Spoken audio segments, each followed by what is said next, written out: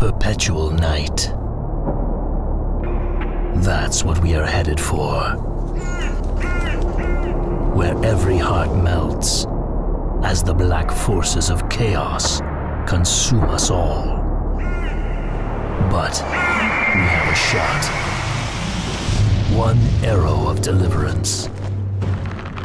I am Rook, High Archer of the Grey Elves.